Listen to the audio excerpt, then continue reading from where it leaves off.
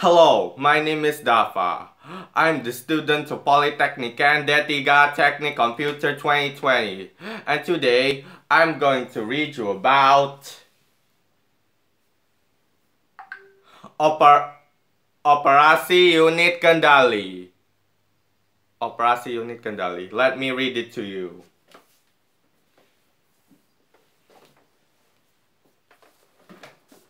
Let me read it to you.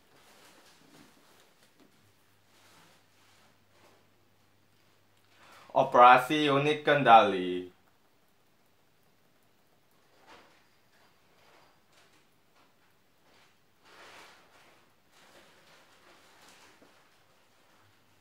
Definisi operasi unit kendali. Definisi operasi unit kendali adalah bagian dari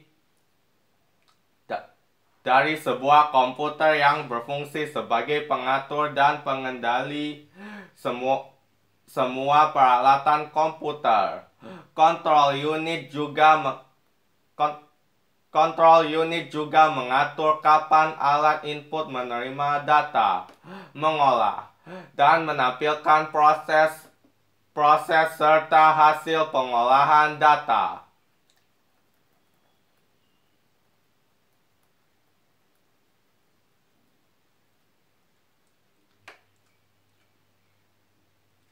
Fungsi operasi unit kendali.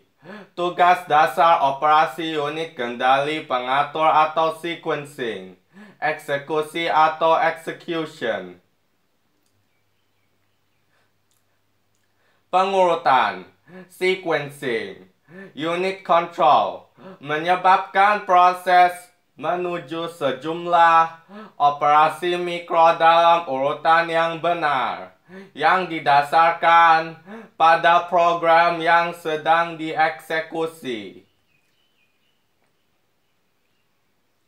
Eksekusi atau execution Unit control menyebabkan setiap operasi mikro dilakukan.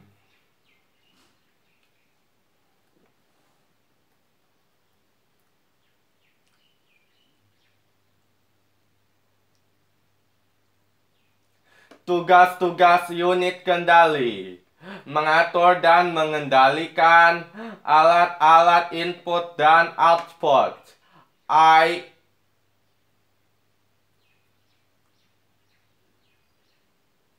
I atau O Mengambil instruksi-instruksi dari mem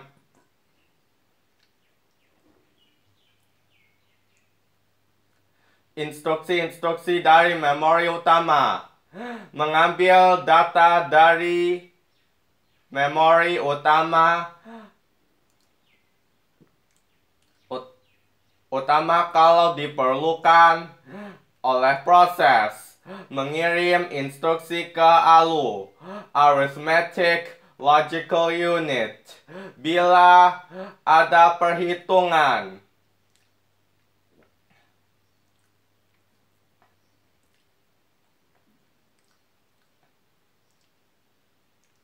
aritmatika menyimpan hasil proses ke memori utama.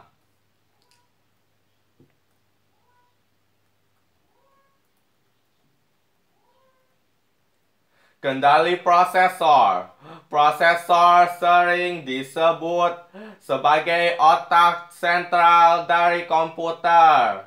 Aritnya, unit unit pemroses utama dari perintah-perintah program yang harus dijalankan oleh komputer yang mengontrol keseluruhan jalannya sebuah sistem komputer dan digunakan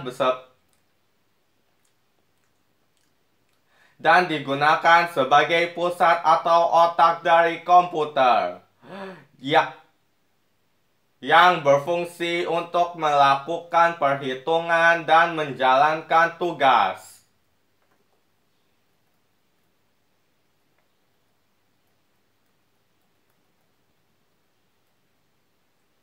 Cara kerja CPU CPU menerima si, CPU menerima masukan dari input dan diletakkan di RAM.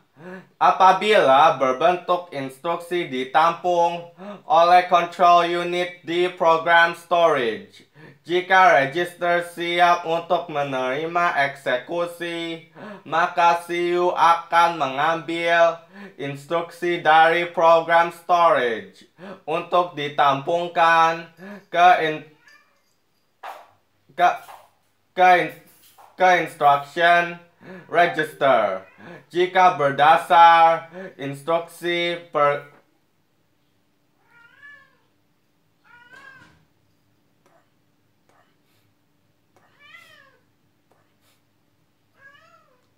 jika berdasar instruksi pengerjakan yang dilakukan adalah aritmatika dan logika, maka ALU akan mengambil alih operasi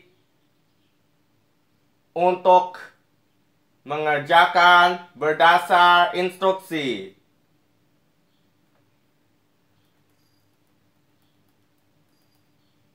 Fungsi CPU untuk mengenerasi sinyal kontrol digunakan pada komputer berkinerja tinggi atau superkomputer dan RISC sed sederhana dan instruksi akses memori. Control unit konvensional menghasilkan suatu rangkaian mikroinstruksi.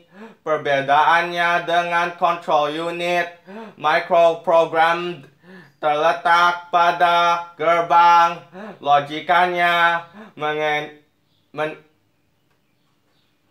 mengenerasi semua micro order sehingga eksekusinya sehingga eksekusinya lebih cepat.